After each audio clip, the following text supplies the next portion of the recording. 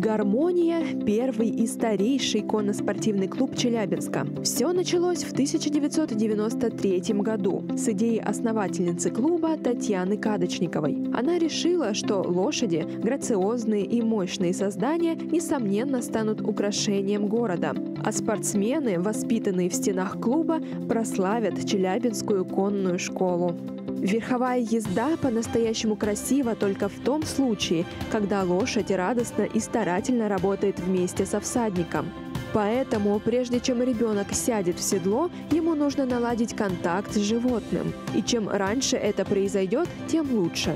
Детей начинают обучать уже с трех лет.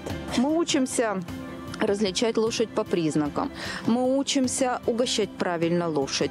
Мы учимся с ней взаимодействовать. Мы изучаем настроение лошадей. Казалось бы, два притопа, три прихлопа. Но при этом дети начинают к лошади относиться с уважением. Процесс знакомства с лошадью может занять не один месяц. И если после этого ребенок намерен заняться спортом на профессиональном уровне, то с ним начинают индивидуальные занятия. В зависимости от способностей ученика инструктор составляет программу тренировок, в которую входит изучение различных аллюров, видов походки лошади. Свое мастерство воспитанники могут демонстрировать на соревнованиях, начиная с 7 лет. Алисе Болотовой 11. Верховой ездой она занимается уже два года. И сейчас как раз активно готовится к выступлению вместе с жеребцом Султаном.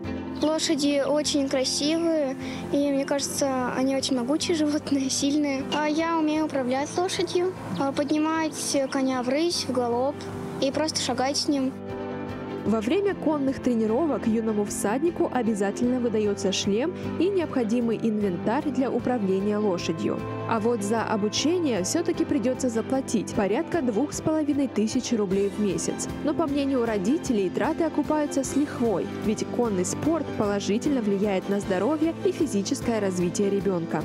Это ведет хорошее очень расслабление, тренировка позвоночника, осанки. Действительно, там очень много мышц задействовано, тех, которые ну, не задействованы в каких-то других видах спорта, может быть, в обычной жизни уж тем более. Чем раньше ребенок начнет заниматься верховой ездой, тем более высокого уровня мастерства он может достичь в конном спорте. При этом юный всадник должен быть готов к большой ответственности. И если между ребенком и лошадью возникнет крепкая связь, то перед таким тандемом открываются заманчивые перспективы, среди которых участие в престижных чемпионатах и возможность обучения за границей.